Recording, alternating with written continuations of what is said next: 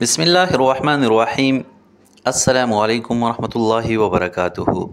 د پښتو وظیفې د یوټیوب چینل مینوالو کتونکو رونو او خويندو الله تعالی مو همیشه د پر خوشاله تر تازه کامیاب او کمران ساته الله تعالی مو د ارغم ار مصیبت او ار درنه په منه حفاظت کې ساته الله تعالی مو د جون او د زړه ټول ارمانونه پوره کړه زمای عزتمندو نن د یو نوي او خاص عمل سره ستاسو په خدمت کې حاضر یم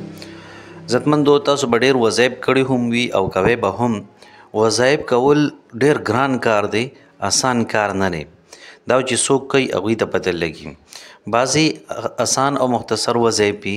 لیکن بعضې وظایب هغه ډېر اوږده وي هغه ټایم غواړي هغه پابندي غواړي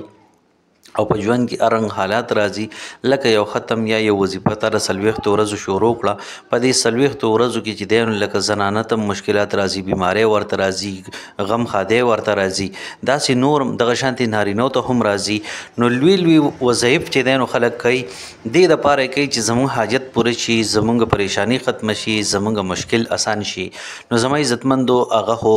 بالکل خامخا چې کوم دی کول پکار دی زمونږ رب دی مونږ به تنه غواړو او وظایف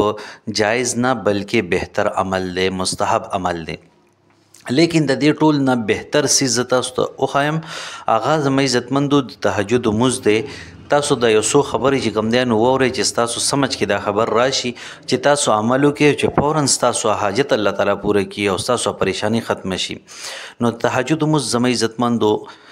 دا هغه موز دی چې نبی علیہ الصلوۃ والسلام دا کړی دی همیشه د پاره کړی دی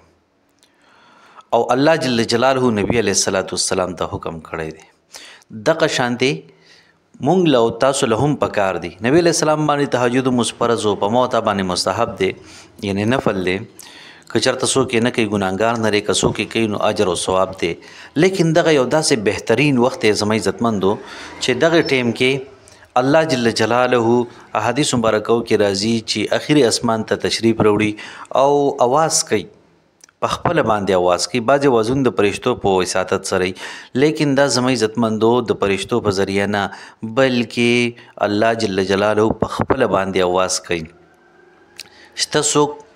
چې مانو غواړي زاغي لور کوم شته څوک چې زمانه پناه غواړي زاغي له پناه ورکم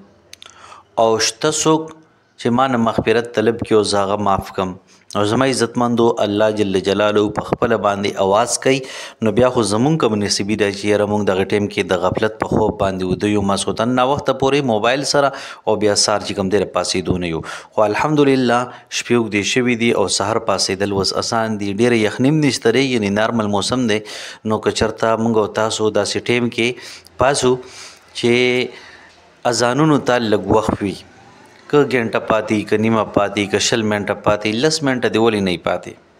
بس دغه ټیم زموږ عزتمن رو ډیر زیات بهترین وخت دی د الله رب العزت په نس باندې بس پاسه او دسو کا دوه رکعاته نفل وکا څلور رکعاته وکا شپږ وکا اته وکا څومره چې ستا د وسه وي وکا کله چې د دوه رکعاته نفل وکړل زما عزتمندو اول خو نفلو کې خو پوره اختیاط وکا یعنی پوره توجه سره چې ستا ذهن ستا سوچ چې کوم دی نو دنیا طرف ته نه راځي دغه ټیم کې اسیم خلک چې کوم دی یعنی ته خو برا پاسېدلی کارونه مارونه ذهن کې ډیر نه او چې کله د ورځې وینو د ورځې خو خلکو خپل کارون ته سوچي کاری نیمه کې پرې خو دی وغیرہ وغیرہ او دغه ټیم داسې دی چې بس سار وختي کار روزګاری لا کړی نه وي نو دغه ټیم کې توجه الله ته ډیره برابر وي نو چې ستا څومره توجه الله ته برابر وي دومره به بهتر او افضل وي توجه الله ته ښه برابر کا کله چې دی نفل وکړل د نفل نه بعد زما عزتمند درېمه کلمه یا څلورمه کلمه چې د لدرزي وایا کنه درزي اسی سبحان الله الحمدلله الله اکبر وایا دا ولی زما عزتمند دا په دی وجه باندې چې دیګي د الله رب العزت صفات ذکر شوی دي ستا چې څوک صفات کوي هغه باندې ستا خوخي دغه شانتي د الله تعالی چې څوک صفات کوي د الله تعالی هغه بنده ډیر زیات خوخي او الله تعالی په خپل صفاتو باندې ډیر خوشاله کی نو ته د الله رب العزت صفات بیان کدرې م کلمه ټول د الله صفات سلورم کلمه ټول د الله تعالی صفات دغه دی بار بار وی هر څومره مرتبه دی وی لس پیری دی وی یو لس دی وی طاقت او جفت پکې نشته بس چې څومره د ویلې شو او آی لک ساته پورې بیا دغه نه بعد په نبی کریم صلی الله علیه وسلم باندې درود شریف وایا هر څومره مرتبه چې دی وی درو نه زیات وایا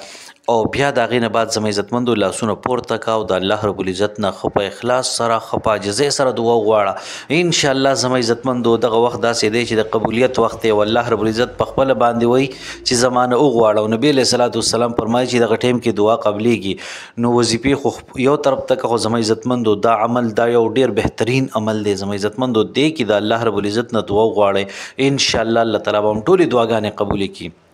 ټول مشکلات هم الله تعالی آسان کی ناممکن سيزونه چې تاسو غواړئ ان شاء الله الله رب العزت پر الله هغه هم درکې او د تهجد بهتر وخت زمي عزتمندو هغه داري چې سار اذان ته نږدې وخت کې وي بس 15 شپږ منټه مخکې پوري دغه ټیمه پوري تاسو تهجد کولای شئ اوس که یو سړی وایي چې یاره ماته صحیح وخت وخایا چې لکه زه د شپې ویښ یم نو چې د شپې ویښ دوه بجو نه پس چې کم دینو تهجد کولای شي او که ځان ته موبایل په ټیم کې نو څلور بجې په ټیم کا څلور بجې چې کوم دی نو دغه بهترین وخت دی او دغه شانتي زما عزتمندو که چرته یو سړی اوده شو او د خوبه راپاسې دو هر څه ټیم چې دی ګړی دی نه ګوري او دی او داسې وکړو او نفلو ته ودرېدو دغه د ده لپاره تهجد دی دغه ټیم کې هم د ده تهجد کېږي خو بس چې خوب یې وکړو او راپاسېدو عزتمند او الله تعالی هم همیشه د پر خوشاله تر او تازه کامیاب او آباد ساته منګ له اجازه تر کې ملاوي ګبراتلون کې د وظیفې ویډیو کې د لوی الله په امان